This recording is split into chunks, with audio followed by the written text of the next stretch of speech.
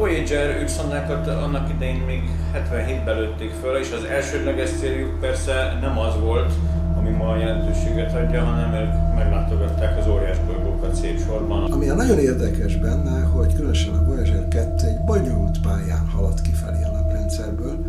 A bolygóknak az állása, az akkori állása lehetővé tette, hogy egyiktől a másikig le átlendüljön, anélkül, hogy különösebb energiát kelljen befektetni, és így az óriás bolygókat sorra látogatta. Az óriás bolygók esetében az egyik fő feladat a fényképezés volt maguknak a bolygóknak, illetve a holdjaiknak a fényképezése. Mérték a plazma környezetet, a bolygók közi mágneses teret, a bolygók körüli mágneses teret, a részecskék sűrűségét és így tovább. Tehát nagyon sok tudományos mérést végeztek, részben ugyanazokkal a műszerekkel, amikkel most ugyanezeket a dolgokat mérik a naprendszer határvidékén.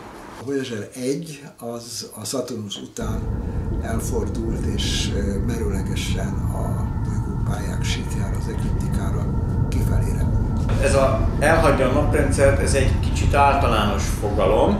A, a naprendszert kétféle értelemben definiálhatjuk. A napnak van egy gravitációs mezeje, ami uralja a térnek egy igen jelentős tartományát, és aminek következtében minden, ami ezen a tartományon belül van, a nap körül kering. Ebben az értelemben a Voyager szondák még évezredekig nem hagyják el a naprendszert, tehát még bőven lehetnek olyan kis bolygók, üstökösök, akár törpebolygók, elvileg bolygók is, bár ez nagyon kevéssé valószínű, amik kívül vannak ezen a határon, és a naprendszerhez tartoznak. Ugyanakkor a naprend, napnak van egy mágneses tere is, ez a az ezáltal kitöltött térfogat, a helioszféra az, amit mostanában éppen elhagy a szonda. Ezt tényleg néhány éven belül teljesen egyértelműen biztosan maga, maga mögött fogja hagyni. Ha a távoli jövőben a Voyager idegen civilizációk képviselőivel találkozik, üzenetet ad majd át nekik. Egy használati utasítással ellátott, aranyból készült hanglemezt rajta képekkel, hangokkal, üdvözletekkel és másfél óra nagyszerű muzsikával, a Föld legjobb zene számaiból.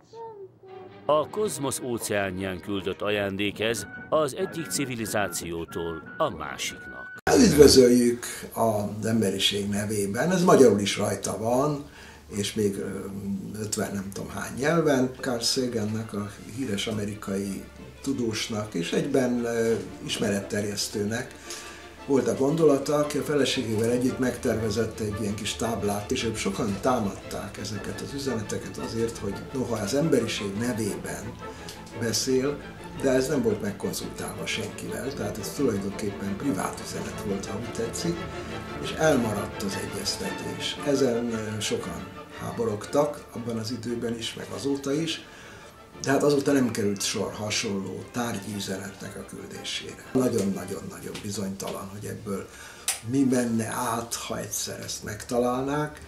Minden esetre talán az átmenne, hogy ez egy, magáról a berendezésből is látszik, hogy ez egy technikai civilizáció terméke, de hogy magából az üzenetből mit értenének meg, nagyon szkeptikus az ember, hogy ez, ez lefordítható. Az igazság az, ezt be kell valami őszintén, és ezt a készítők is pontosan tudták, hogy messze a legnagyobb valószínűség annak hogy ezt a büdös életben senki nem fogja megtalálni. Az egész küldetésben az a legérdekesebb, hogy most, ahogy túljutunk a nap mágneses által védett övezetből, egyrészt ki fogunk jutni a valódi interstelláris térbe, ahol végre meg lehet mérni olyan jellemzőket, amiket innen belülről csak közvetve tudunk meghatározni, tehát milyen a bolygóközi mágneses tér iránya, erőssége, milyen részecskék vannak ott jelen, milyen ott a kozmikus sugárzás jellemzői, és így tovább. De ami még érdekesebb, az tulajdonképpen az, ami már most történik, az maga a határvidék. Ugye a határvidékek azok mindig nagyon izgalmas dolgok. Pont a határvidék, a naprendszer belső tere és a csillagközi tartomány között az, ami a legtöbb eh, eseményt tartogatja, és ezért volt olyan nagy eseménydús az utóbbi kb. 10 éve a szondának, mióta erre a határvidékre bejutott egyáltalán. Az utolsó nagy feladat pont az lenne, megállapítsa azt a helyet és pillanatot, azt a távolságot, ahol a nap területe véget ér, és ahol kilépünk a csillagközi térbe. Amíg jeleket továbbít a Földre, az már nem olyan hosszú, vár, várakozás szerint talán még, ha szerencsénk van, még tíz év körülbelül. Haladni persze az örökké valóságig fog százezer millió évekig. Az is felmerült, hogy ha így fejlődne a mi technikánk, és nagyon gyors űrszondákat tudnánk indítani majd a jövőben, akkor esetleg egy idő után el lehet küldeni egyet a Voyager után utolérni, és megnézni, hogy milyen állapotban van, netán visszahozni részeit. Tehát ez még lehetséges, hogy ez egy időkapszula, amit a jövő emberiség egyszer majd megkeres és visszahoz, de hát azért nem valószínű, ennél, ennél célszerűbb megoldások is vannak. Tehát a legnagyobb valószínűsége annak van, hogy ez évmilliókig zavartalanul fog repülni a csillagközi térben, anélkül, hogy bárki észrevenné